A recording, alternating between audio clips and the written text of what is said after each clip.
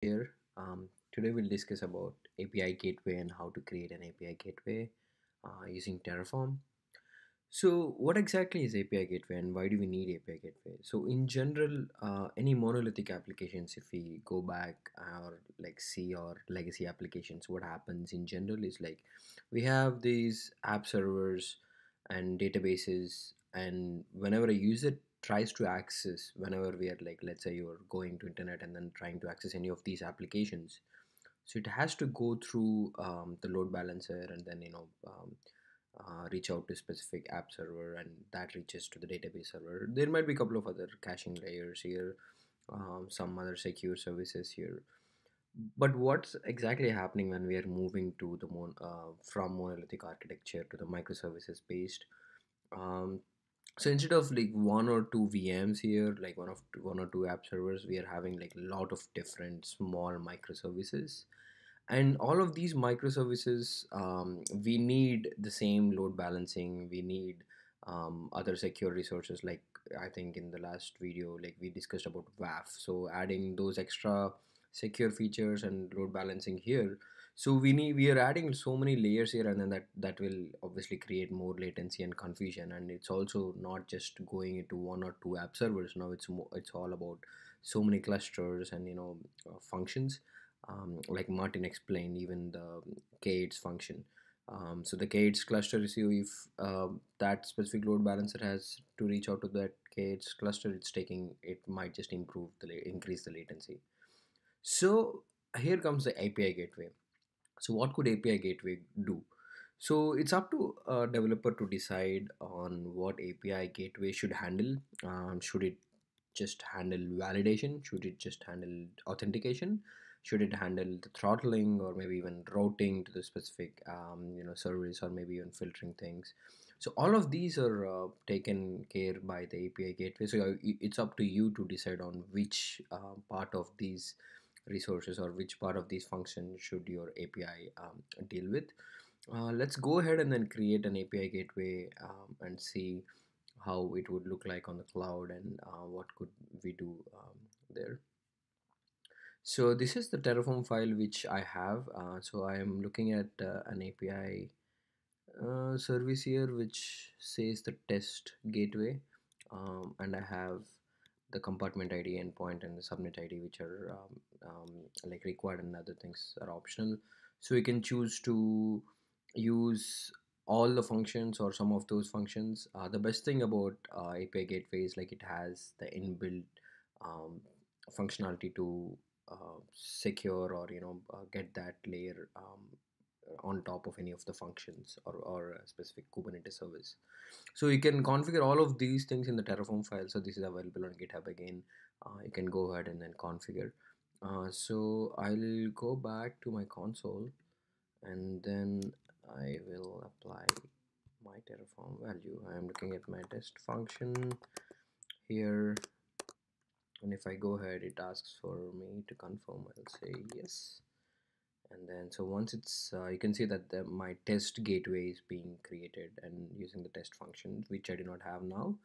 Um, let's go ahead to our console and so you could you could see there that my test gateway is being created. Uh, you could see there so if I click on the test gateway so it's still creating. What you could see there are all the metrics that are available. So you could change the start and ending times for all of those things um, and then go back so you could see api request response um, and you know the number of bytes received and even the latencies.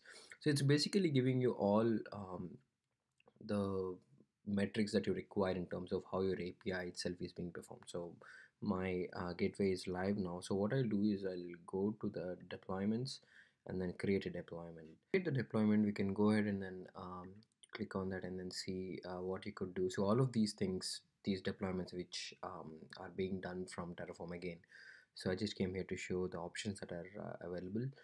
So while creating a specific deployment option api gateway will not give you the api specifically. It just uh, gives one layer before api where you could use you know security or authentication, um, load balancing, all of these options which you generally um, require or are planning to use. So for example in my case uh, let's assume i'm using um, you know an API. AP um, in uh, at this point i'm looking at apiary uh, which is also available from oracle cloud service to manage your apis so whatever i'm looking at here is um, a specific api with the polls so let me see so this api will give so if i uh, you know using a postman or a browser if i go ahead and then you know look for um, get this uh, request. What i am doing is basically getting all the questions uh, my favorite you know uh, languages for these questions. So i'm getting all of these json data um, and this is from uh, served from a service which could be a function or kubernetes or even a vm. So this should be uh, secured or being um, you know controlled um, from that starting point which api uh, deployment could do. So what i'll do is i'll go here uh, to create the deployment and then uh, you could either do from scratch or you could upload using uh, an existing api so which you could also use terraform for the same thing.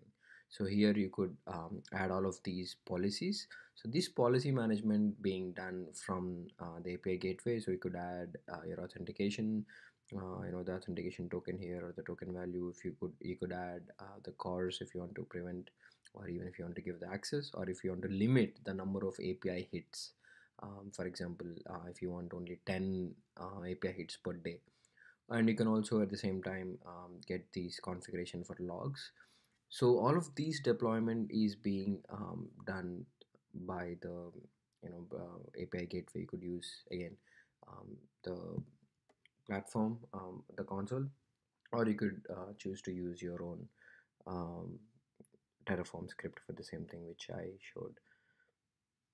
So that's about the api gateway. Um, the next videos like what we could explore more is in terms of um, the backend itself. So mm, today we see we have seen like how to secure that um, api created from the backend um, which could be any of these services. Um, in previous videos martin explained how to um, you know spin up kubernetes clusters um, in the coming videos we'll explore how to use the functions um, and uh, set up those functions from here or maybe uh, even use the api platform services on uh, oracle cloud like apiary and we could use uh, we could see how uh, you know like using these uh, dashboard and other options um, in, in the next videos. Thank you